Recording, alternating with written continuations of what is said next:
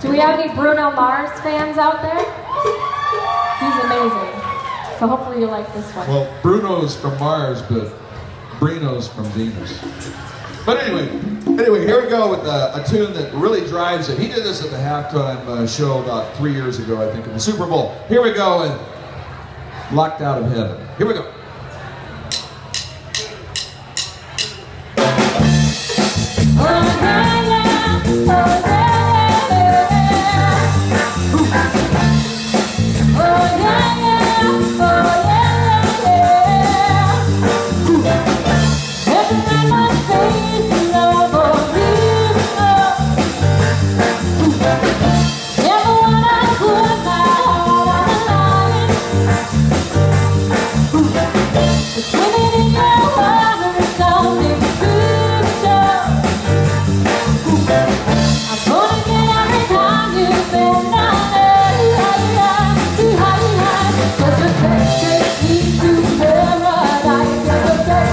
do you